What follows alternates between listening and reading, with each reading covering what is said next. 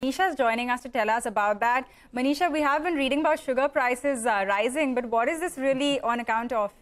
Well, yes. Uh, you know, first of all, to give you a sense on the prices itself, and we saw nearly 3% of gains in sugar prices in the previous week, and now that makes up for 4% of gains in the month of June itself. Well, the global markets have been rising because you have seen fund buying coming in. It also has been about the El Nino now meeting its criteria, and El Nino basically means floods in Brazil and lesser rainfall in India, and both of these are major producing countries. Within India as well, we have seen slower progress of monsoon, and that has been a concern. We haven't seen the monsoon monsoon yet enter Maharashtra and it hasn't entered UP as well. These are the two major producer uh, states as well and that has led to a sentiment gain into the markets. In the North Indian part of uh, the country as well, the buying in sugar has been higher because we did see sugar prices slip in the previous week and from, from there, there has been opportunity physical buying is what the markets have been reporting.